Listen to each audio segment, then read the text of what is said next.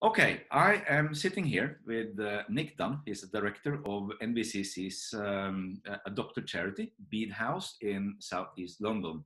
And as everyone else, uh, Bede House and uh, the clients and Nick and his staff is, of course, um, uh, hit by this. So, how, Nick, how, how, do you cope in this time of, of uh, struggle and uncertainties? Okay, it's uh, we've had to change very, very quickly. Um, all of our staff are either working at home or we've just begun to furlough people under the new government scheme because we had to close our youth project and our learning disabilities project, both of which involve people coming into the centre for group activities. So clearly that couldn't continue. So people very, very quickly have had to adapt to different ways of communicating and keeping in touch with everybody, colleagues, clients, and the families that, uh, that, that they're part of. Some of that's been using technology like this. Others have been good old telephones and WhatsApps and, and all of those sorts of things. So morale is good at the moment, but everybody's waiting really to see what what happens next and how long everything's going to yeah. go on like this for. Yeah. Uh, so, uh, what special needs? I mean, uh, are you facing the, the, these things? What, what's most pressing? What's happening uh, with your clients? Oh, oh. Well, I think the uh, initially there was concerns about is everybody getting the food that they need, and there are a, a few um, of our clients who have got no money, for example, um, or are unable to go out because um, either they're ill themselves or they've got a number of, of um, children or you know disabled uh, people that they're caring for. Mm. So that was a, f- first anxiety was about how people were just getting the basic essentials, yeah.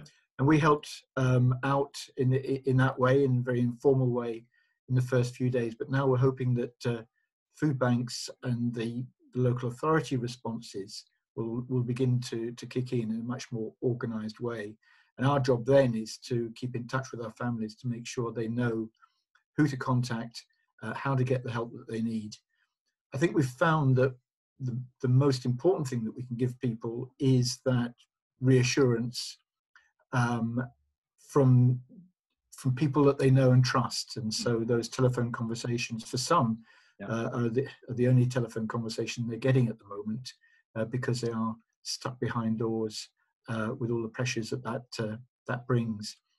I think the area that we're most concerned about are people who are in abusive relationships at home because our domestic violence team um, are being kept very busy indeed, uh, taking new referrals. Um, because, as you could imagine, if you're in a, an abusive or a violent relationship and you're having to spend a lot of time together, then the risks are uh, increasing. And I think across the country, indeed across the world, police have, have, have been seeing an increase in reports to them, and those then filter down to us.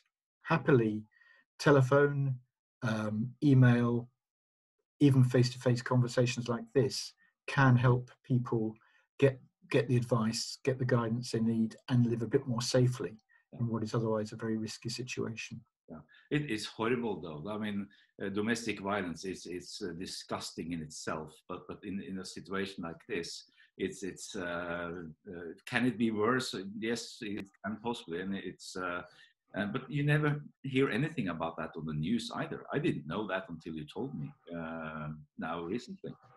Yeah. So horrible. Um, but and how do you respond then to to, to a situation like that? And is there any any, anything in particular that you need as an organization? Well, I think that the um, uh, the key thing, as always, is is to keep your keep the teams together, keep people um, focused on if they're able to to do their job um, remotely, keep people focused on that. Um, if they're not, um, and perhaps they've got priorities for their own families and, and, and, those that they're caring caring for. We know one or two people who've who are very concerned about the uh, people close to them.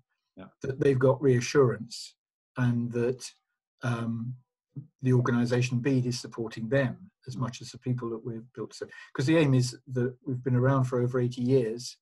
Um, our aim is to get through this and be around for for for years to come to to give the support the local people need when when things get uh, get tough.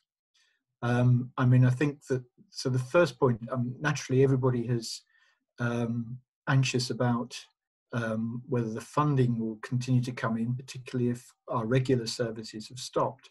Mm. And many of the funders we've been in touch with have been very uh, reassuring in that that respect, which is is great. But others are still trying to work out the position themselves, and um, so there's a degree of uncertainty about the future. But we're just trying to take that as a day at a time and try to keep a realistic perspective, not get too anxious, but also not be complacent as well.